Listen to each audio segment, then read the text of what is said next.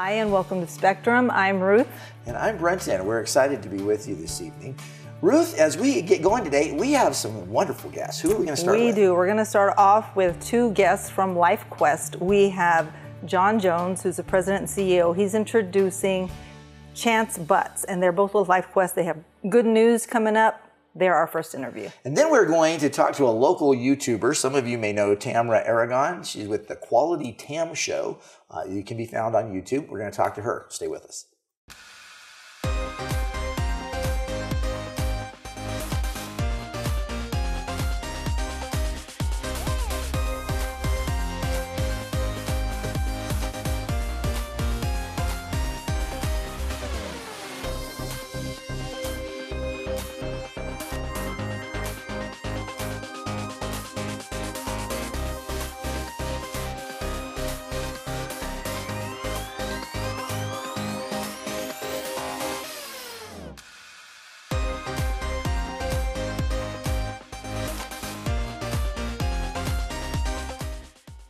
Are pleased today to have two wonderful gentlemen here with us from LifeQuest. One of them you know because he's been with us on Spectrum before, John Jones, the president. But we also have the opportunity of introducing you today to uh, Chance Butts, who is uh, going to be talking to us as well. Gentlemen, thanks for being with us today. It's uh, good to have you both with us. It's great to be back again. Thank you. Absolutely. Thank you for having us, sir. Oh, for sure. Well, John uh, and Chance, it's it's good to, to be able to have two of you, you know, not just one. and we're going to talk a little bit about, I guess, a transition that's taking place at LifeQuest. Uh, John, why don't you start us off, and then we're going to bounce over to Chance and find out a little bit more. You've been doing this for what, over a decade now? Uh, 11 years. April 1st was 11 years for me. And on June 30th, I will be stepping down as president of LifeQuest, and Chance will be stepping into my position. And of course, we talked a few weeks ago with you about some of the things that you're going to be uh, dealing with in, in some new capacities, but we really want to talk a lot about LifeQuest today. And uh, as you are thinking about this, uh, you know, this is, is, a, is a new opportunity, but a, a new challenge for you. How have you gotten involved with LifeQuest in the past?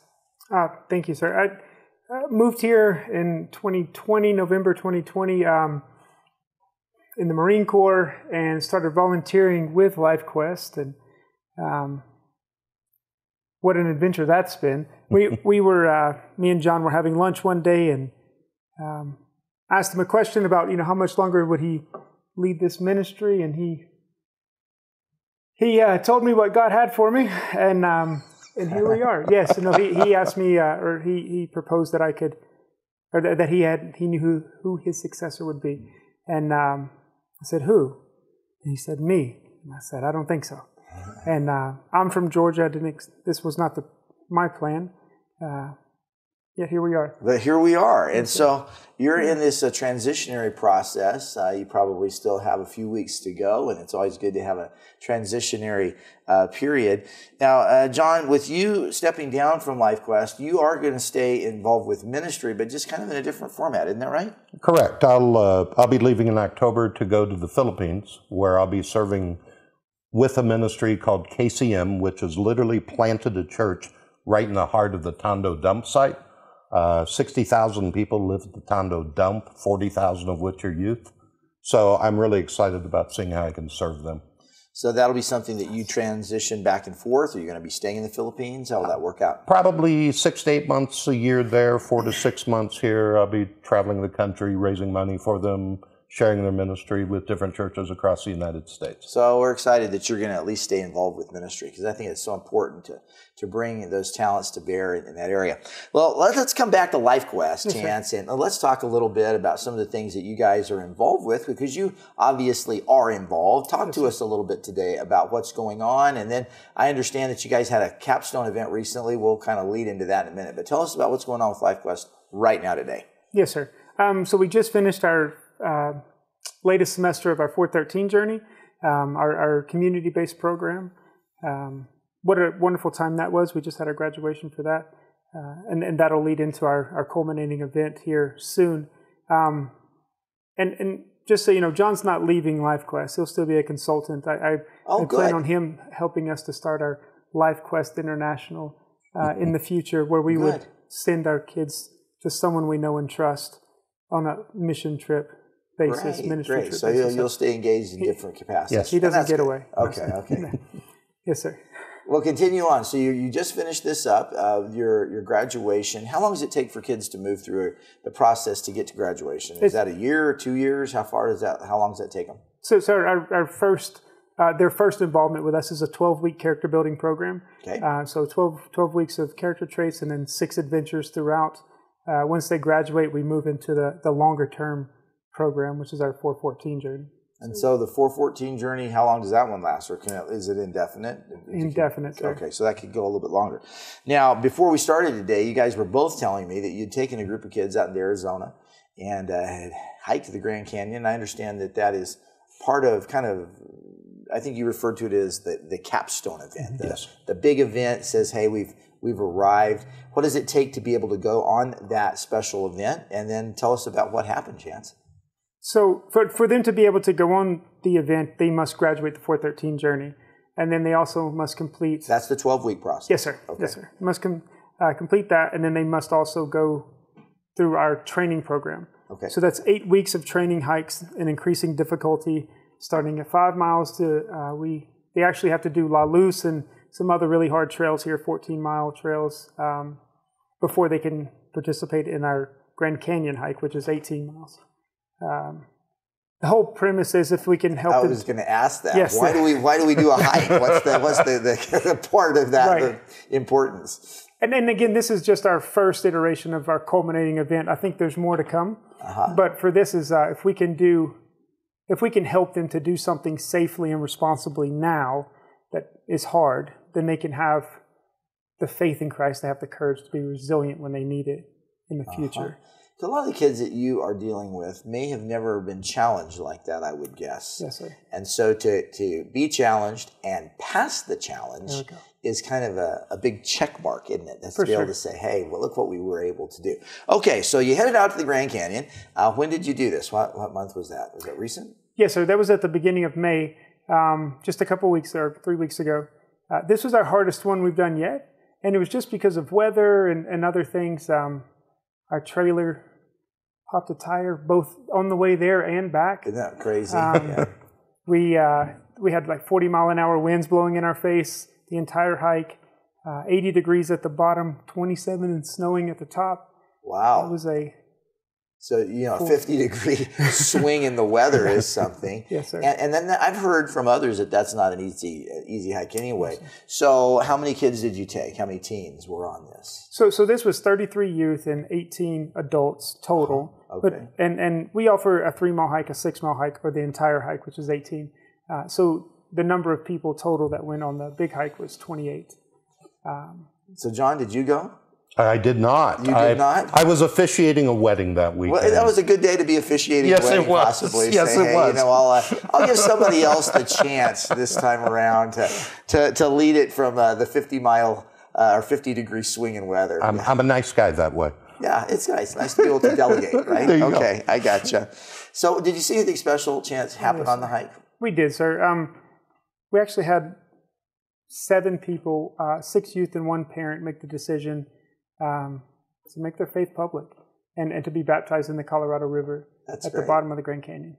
Wow. So that was a that would must have been special to see very much. uh, a- group of people say, "Hey, you know, I want to to make my profession in Jesus Christ awa- uh, known to others. I'm going to be baptized." That's Yes, pretty sir. exciting stuff as you think about it. What do you think that the kids will learn on something like uh, one of these hikes? I mean, you've been on those. I mean, I've, I've done the La Luz Trail. At least I'm not sure I did all of it. I think they dropped us off halfway, and we went to the top and came back down. It was still pretty far. I mean, it was fun. Yes, sir. That, you know, as a, as a teenager, did that. Uh, what do kids learn?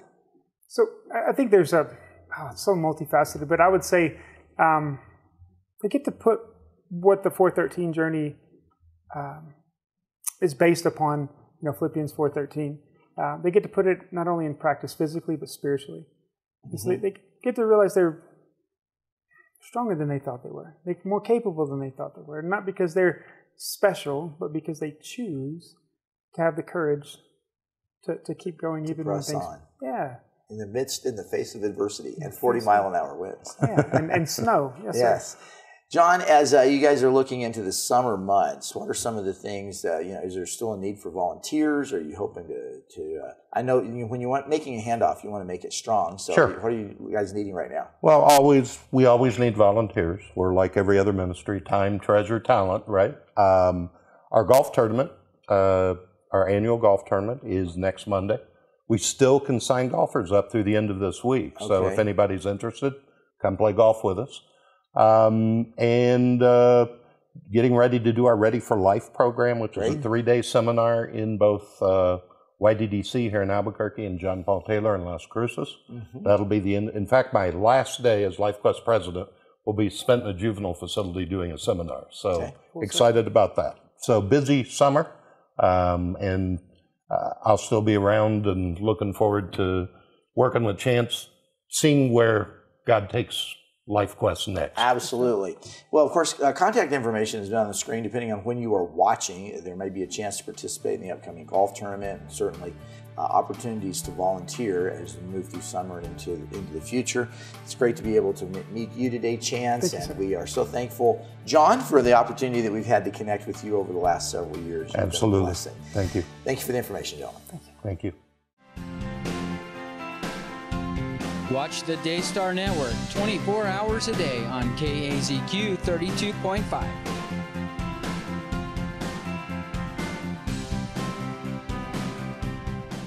I want to start off today by just simply saying that we are thankful for you. We are thankful for the wonderful family of viewers that we have here at Alpha Omega Broadcasting. And 2024 has been an exciting year as we are continuing to see our viewership grow and grow and grow. Uh, Ruth, we are now on uh, not only nationally but internationally on Roku. Um, we're seeing continued growth there. And we're seeing uh, regular delivery of the, the signal through uh, broadcast and cable and dish and direct TV. And it's just so good to know that so many of you, thousands and thousands of our friends, just like you, are participating with Alpha Omega Broadcasting.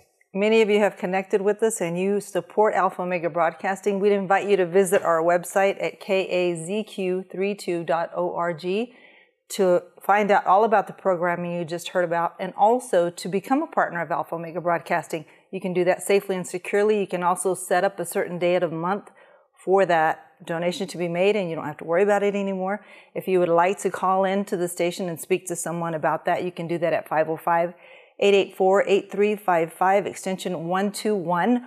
Or if you have it in hand and you want to use snail mail, you can do that to hmm. send it to Alpha Omega Broadcasting at 4501 Montgomery Boulevard Northeast, Albuquerque, New Mexico 87109. I want to mention the fact that we have with us now about 55 different ministries, great ministries, national ministries, local ministries, doing a great job. They are so good. I watched uh, so many of our, the programs at home, and I'm just like, man, this is good stuff. I know it will bless you, and I encourage you to let others know. We also, about a year ago, made a, a bigger move in the area of family entertainment, purposely to help you have family safe programming. And we're doing that throughout the day, on the weekends, and on the overnights. And mm-hmm. we are seeing just a great response to that as well. But we could certainly use your support for our Family Safe Haven. $32 a month helps us in the area of family programming. Do your best. Thank you for all you do. Watch Jimmy Swaggart and the SonLife Network 24 hours a day on KAZQ 32.3.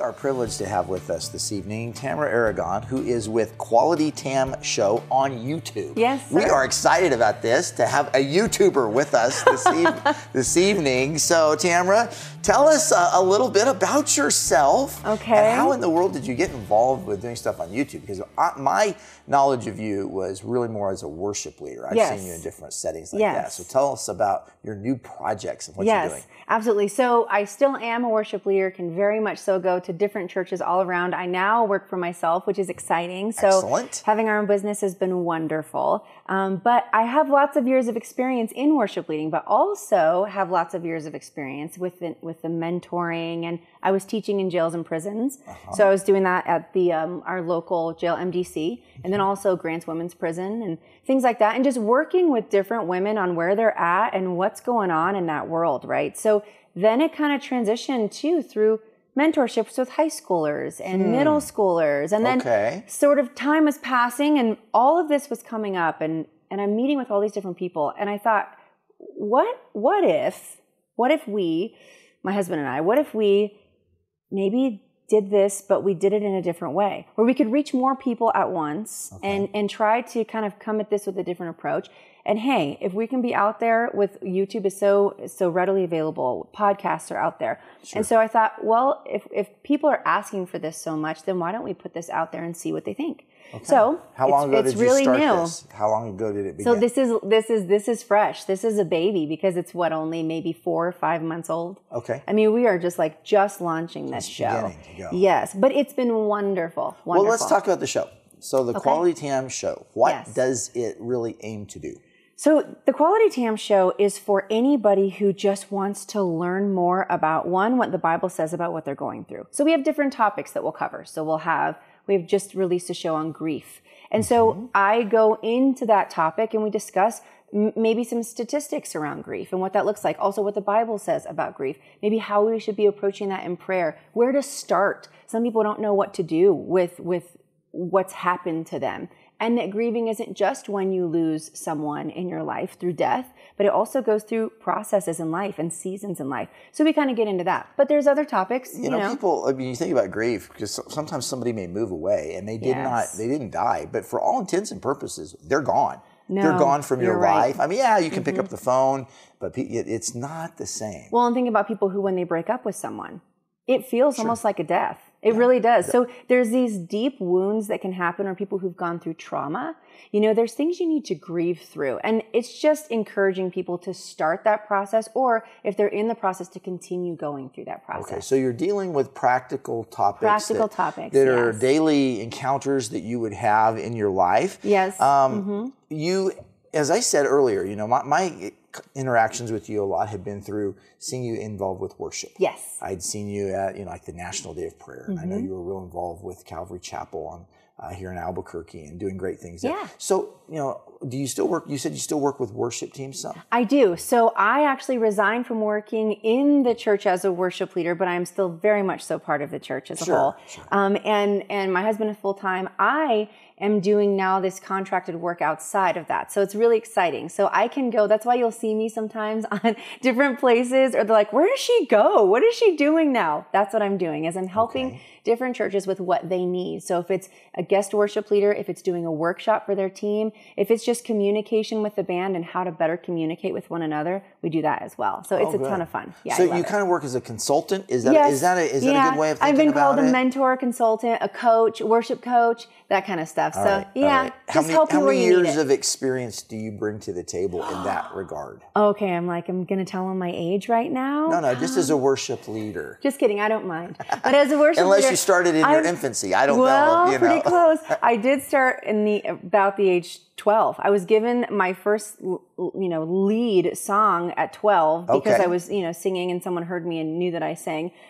And, they I was said, like, oh go." my goodness. So we just went in right to it. And so since then, I mean, my parents were worship leaders when I was younger and they Uh-huh. do music. They're very talented as well. And they're doing all, they're just like, they were all over the place too. So I learned this from a very young age Sure. and with my grandparents and stuff and Yeah. all that. But, but growing up that way and then doing music for so long, it's been about roughly 20 years now. It's wonderful to have that many years of, of experience because Yes. Mm-hmm. you know over the course of time you you work with different team members, you work with different dynamics, Oh, don't you? yeah. And, Oh, and some of them, you know, let's be real, every every type of dynamic. Sometimes there's some really great dynamics, and other times it's kind of bumpy, and you're like, wow, you know, I didn't expect to to see that. And my mom was a uh, was a a, a music director, and I remember she ma- made this statement to my dad and as, as a little kid. She said, "You know, I think when Satan fell from heaven, he fell into the choir loft because there was always people that have friction in the music department." So I, I kind of one of those things that I have always remembered. So, So well said. Where do you have do you have degrees that you bring to the table as you're doing your show or sharing in areas Yes, of and lead- worship leadership? I love Sure. I love to very much so say the disclaimer of I'm not your doctor, I am not your therapist. Okay, fair. But I did go to school for communication and psychology. So those are two loves that I have in my life of just like learning to communicate. I love when we can work through something and genuinely work through it, you know? genuinely go through it Mm-hmm. and walk through it with different people and and really talk through what needs to be talked through as That's well good. as as well as music you know That's good. learning and growing yeah in that way yeah it's awesome So, as you're thinking about all of the things that you're doing uh, along the line, what are you most excited about when you think about this new podcast? honestly what where i where i sit with that is it brings me such joy such joy to know that someone could be sitting on their couch and watching the show or in bed late at night like man i just you know they're googling some topic and then they it pops up the quality tam show and they get to be encouraged and uplifted and directed towards something that uh-huh. is healthy a good godly transformation that's realistic that's tangible that's that's practical you know so mm-hmm. that they can move along their life because whatever age that you are there's there's a way to walk through the things of life the way that God wants us to do it. And I don't force you to do it my way and I don't say that you should but I try to give you the most um, the most biblical and kind way to do so. So, Tamara, you're you've been going at this for a few months. Yes. Do you have like you know, uh, let's say a, an experience you'd say this was this is making me feel like I'm on the right track. I mean, getting some feedback from somebody or somebody who's Oh, man. walked up to you, or you know, I don't however they've interacted. So I'll make it short because I know we don't have all day, but I, I, um, yes, I'm gonna. It's very emotional when I am walking when I'm in a store, and somebody will stop me and say, "Are you Quality Tam?" And I'm like, "Yes, I am. How are you?" You know, we get to meet and chat a little bit, Sure. and then they proceed to say whatever it is show that they watched or that moment in time that just they stopped and said i decided to forgive my father of this many years of unforgiveness when i watched the way that you said this just changed my perspective or if it's somebody who who says i i was genuinely sitting by myself hiding and didn't want anybody to notice me. And when i watched your show on grief I saw that there is a way to walk through it. That it was just it was the help for me to get up out of my bed and, and move on. You know, to walk through life. It's amazing to have those kinds of stories. Yeah, it is, and and then that makes you feel like you know the Lord is involved in what you're doing, Very and much that so. kind of affirms, doesn't Yes, it? Affirms absolutely. the process, and it's all baked in prayer. It's all it's all just constantly uh, covered in Lord, what you want, I will do. And topics that are harder and maybe that I don't really feel like approaching, I pray through those and I do the research on that, and then I say, God, you can have it, blow your life on it, and just bring life to this. And whoever it needs to touch and talk to, may you do that. Let it be you. Now you're still doing some live events. So what's Yes. the next time that somebody might be able to, to see you yeah. leading worship? So or I'm still sharing? singing. Uh huh. So this past weekend, um, I was over at Sagebrush helping them out this past weekend, and then um, upcoming, I've got a couple um, uh, times that I'm over at Calvary as well, and that's still my home church. Um, and then I'm and then I'm singing at an event coming up June 30th, Okay. and so June 30th is a Sunday, and it's for Faith and Family Night at the Isotope Stadium. Cool. And so it'll be a ton of fun. It's going to be me and a few friends, and we're going to get to do the pre-worship show. So we get to do like an hour's worth of music. Wow. Uh, yeah, That's it's a gonna, big. Yeah, it's really fun. And then I'll be singing the national anthem as well. Okay. So I haven't sung the national anthem in a while, but I'm ready to do All right. and then if they want to find the Quality Tam, you just go to, to YouTube and just say, type Yes, it in. you can go to the Quality Tam Show. You can go to the Quality Tam Show, or you can also go to qualitytam.com as well. And you can find me on Instagram and Facebook as well. And Okay. and we can chat there, and you can see a bunch of fun stuff. All right. Yeah. Some neat stuff. So I, encourage you to look for Tamara as you are not only in the community but online and uh, really tie in with this really cool uh, new option uh, just being encouraged and being blessed. Thanks for being with us. Thank you.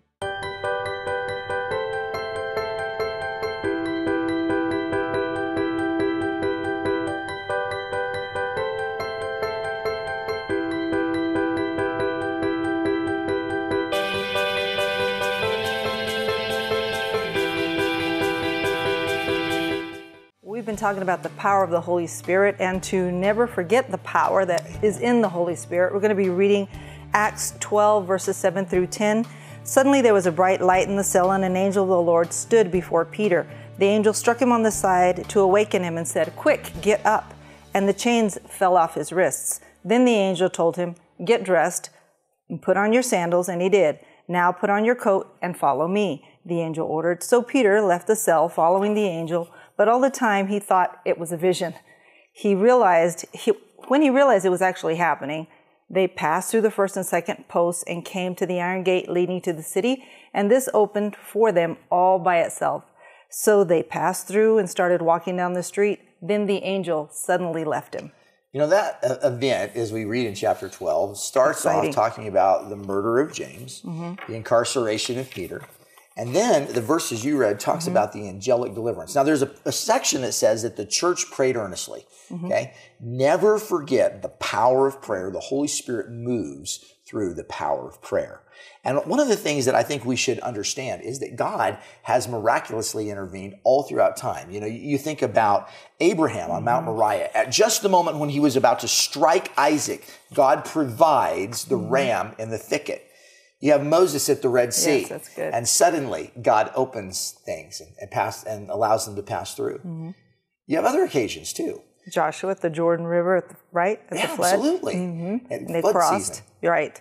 Ruth, as she was directed to the exact field that Boaz, the kinsman redeemer, was going to be at, that was an act of the Lord. Absolutely. Azariah, Mishael, and Hananiah when Mm-hmm. they were delivered from, from the fiery furnace. And Daniel, as he was thrown into the lions, the the the lions den with the hungry lions, those that threw him in were devoured. Right? They were ripped to shreds, and the nothing ones that happened followed, to him. yeah, that had persecuted him. Yeah, and nothing happened to him.